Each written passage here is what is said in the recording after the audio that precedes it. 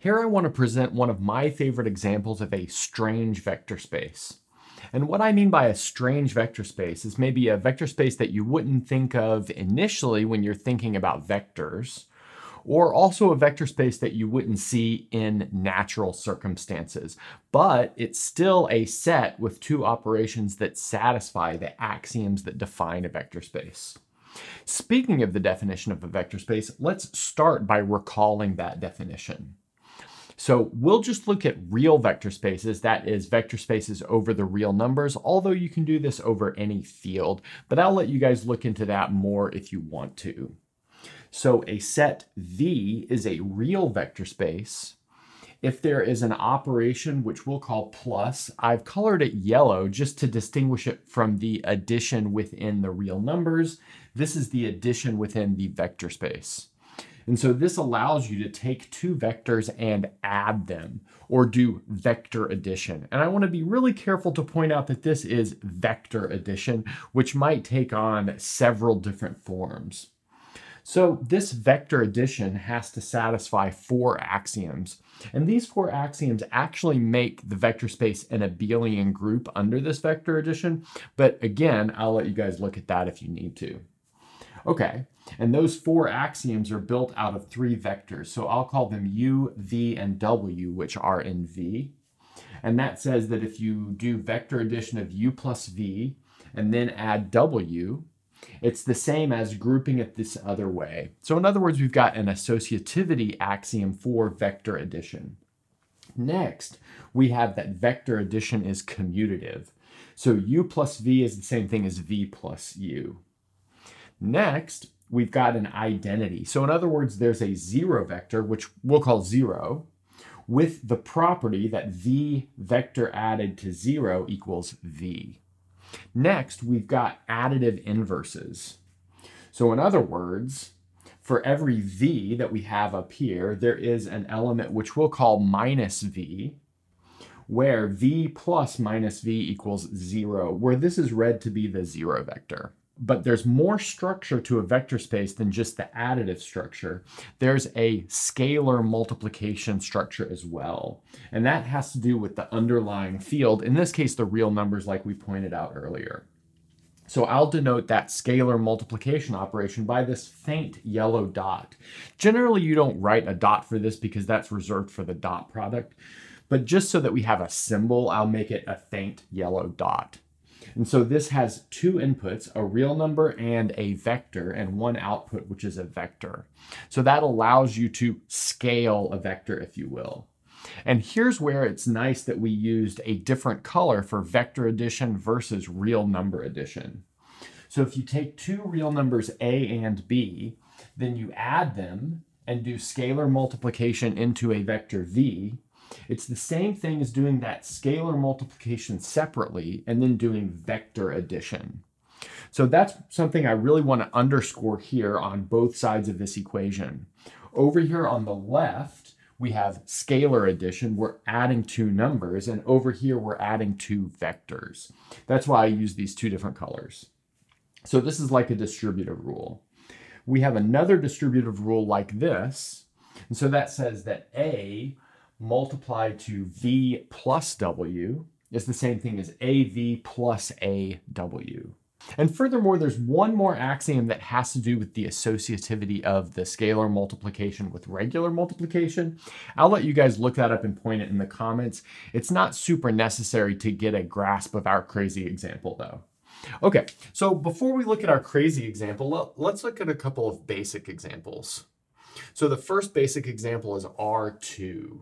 So in other words, two-dimensional vectors. So we'll denote those as columns. So we've got x, y, where x and y are real numbers. So in order to endow this with the structure of a vector space, we need to define a vector addition and a scalar multiplication and check that all of these things are satisfied. We won't check that all of these things are satisfied, but we will define those two operations. So let's say we've got x1, y1, and x2, y2. So those are two vectors in our vector space, and we want to do vector addition. So by vector addition, I mean this yellow addition. So we can define that component-wise. So that'll be x1 plus x2, and then y1 plus y2. Where here I am careful to notice that this addition happening component-wise is real number addition, whereas this was vector addition. Now, what about scalar multiplication? Well, if we had c onto the vector xy, so maybe I'll put like a faint yellow dot there to show that we're doing scalar multiplication, that's going to be the same thing as cx, cy. Or maybe I'll put a faint white dot here to say that that is real number multiplication. Then you can check that all of these axioms are satisfied given those two operations, and that's pretty easy to do. So our next basic example is the polynomial algebra, the polynomial vector space. So here we've got all things of the form a naught plus a1x all the way up to a n x to the n, where ai are real numbers and n is bigger than or equal to zero. And x is an indeterminate or a formal variable, so it won't take on any value. What's the vector addition and the scalar multiplication here? Well, we can write it down pretty easily. So let's say we have a naught plus a1x plus a2x squared. Let's just say we have a quadratic polynomial and we're trying to add that to another quadratic polynomial. I'll call it b1, or sorry, b naught plus b1x plus b2x squared. Then what do we get? Well, we just combine like terms, if you will. So this will give us a naught plus b naught plus a1 plus b1 times x plus a2 plus b2 times x squared. So it's like the component addition that happened up here. It's just down here, we have a little bit larger of a space. It's an, in fact, infinite dimensional vector space. So just to re reiterate what's going on here, we have this yellow plus here to be the addition that's defining our vector addition, but it's defined in terms of this real number addition. And you might say, well, what about these pluses that are parts of the polynomials? Well, you can almost think about those as like just parts of the polynomials. Those are not operations. So maybe we should put those in a different color if we wanted to. So that would be everything here.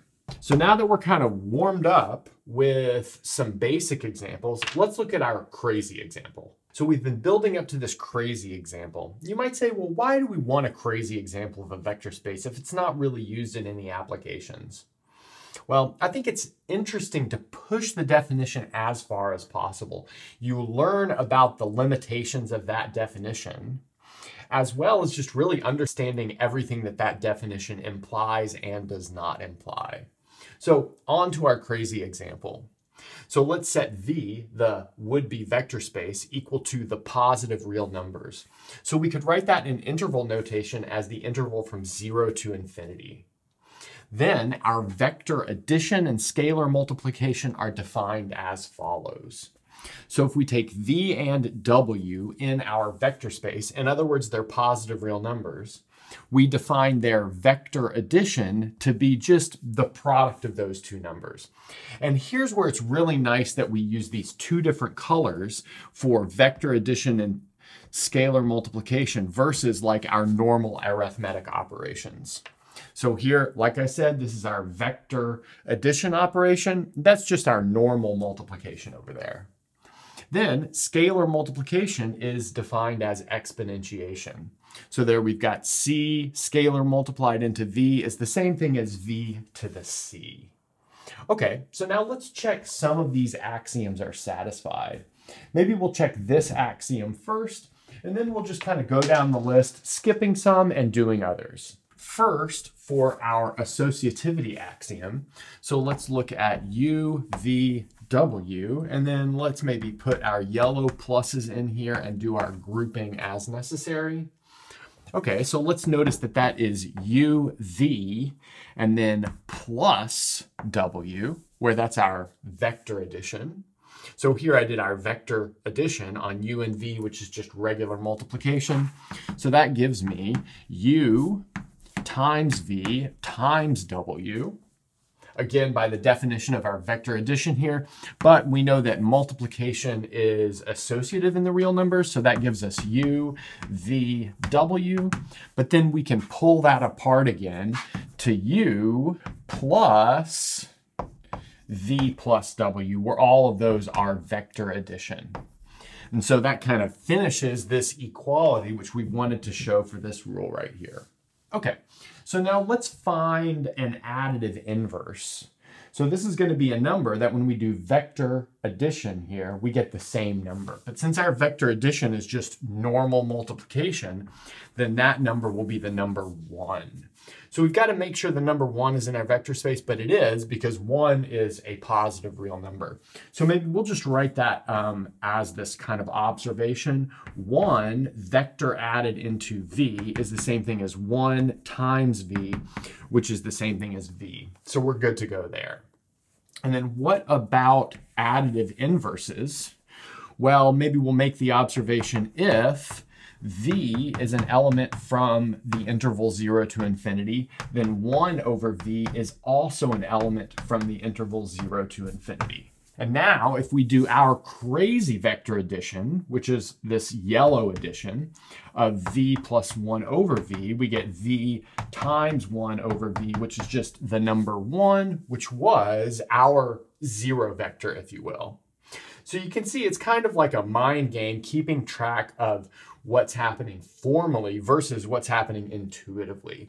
A lot of the roles are being like reversed here. So now let's maybe check one of these down here. Maybe this next to last one is the most interesting. So let's see what we get. So if we do a plus b and then scalar multiplied into v. So this is the addition of real numbers here. So that's why we have a white addition there. Okay, well, let's notice that by definition, that is v to the a plus b, by the definition of our scalar multiplication. But we know something about exponent rules. That is the same thing as v to the a times v to the b.